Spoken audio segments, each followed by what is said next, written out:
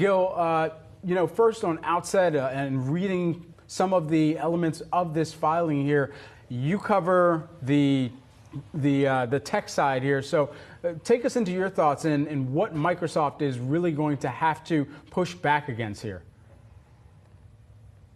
This this is a landmark case that I think we've been waiting for.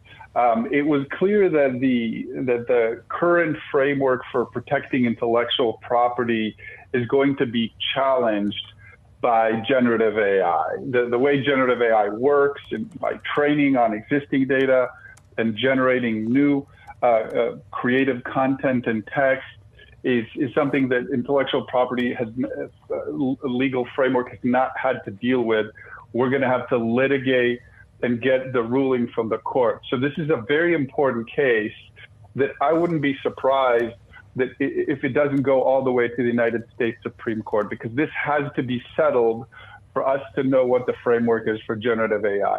Now, mind you, the fact that New York Times is suing Microsoft maybe a little bit of a stretch from a legal perspective because it's OpenAI that's been doing all this work on, on the, the, the uh, world of data from the internet, and Microsoft doesn't own OpenAI, right? They own a minority stake, and uh, and therefore there's an arm length relationship.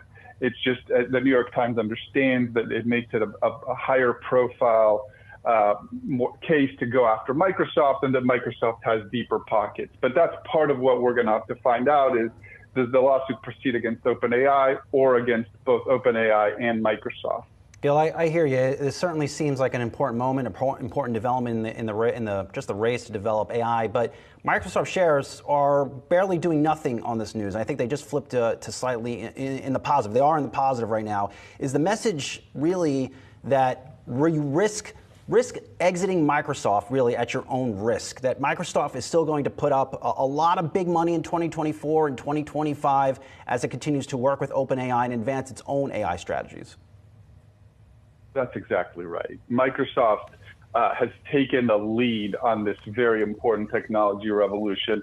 And, and it looks like this year will be a continuation of that. Once you turn an aircraft carrier and you're past the point of the apex, it starts speeding up. And we expect Microsoft to have accelerating revenue this this upcoming year, which is going to be unusual in, in the world of technology and software. Most companies will have decelerating revenue.